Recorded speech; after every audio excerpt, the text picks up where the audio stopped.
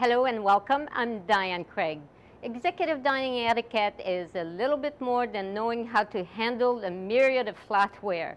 It is being, it is all about being a hospitable host and a gracious guest. Let's talk about the invite. When you invite someone for a business meal, be clear about the purpose of your invitation. So, I am inviting you, Mr. Klein, because I'd like to thank you for your business. I'd like to show you a new product we are carrying, or we would just like to get in touch with you, connect, and see what's happening in your organization.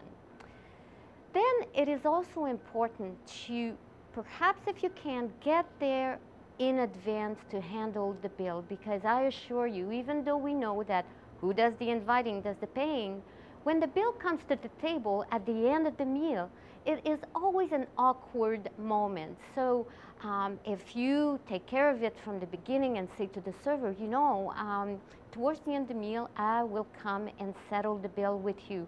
Uh, you can even give them your credit card right there and then if you wish. And uh, then when the meal is over, you can just go and sign the bill and it is so appreciated by the guests because we never have to say, well, let me perhaps share with you, and so on. And then it is important that you show the extent of your hospitality. Are we going to have an appetizer?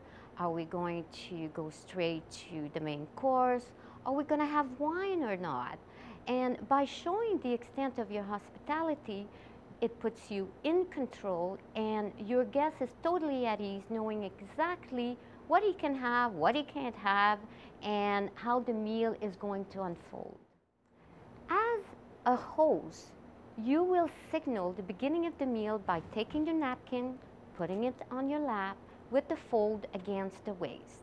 Another important point to know about the table setting is solid on the solids on the left, liquids on the right. So an easy way to remember that perhaps is using BMW, bread, meal, water, or wine.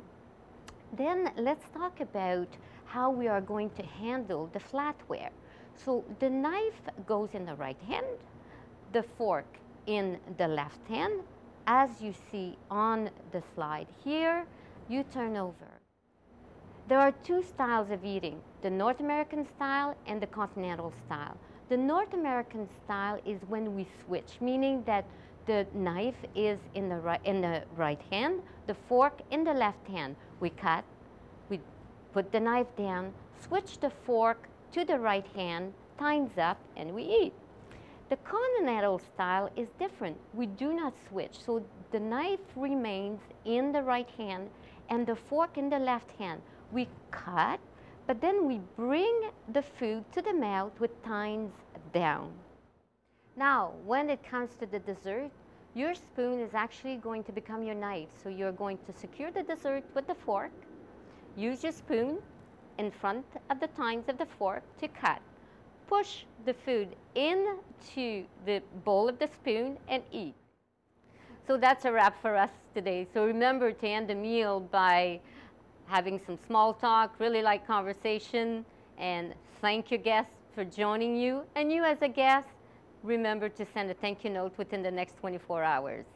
Thank you.